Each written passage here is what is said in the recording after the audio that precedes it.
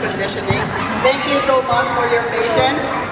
And to award the winners for you, fourteen girls, uh, fourth place we have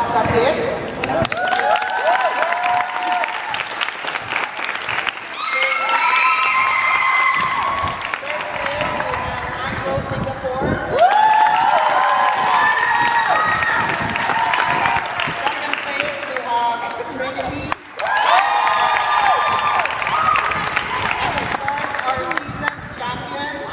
Work me.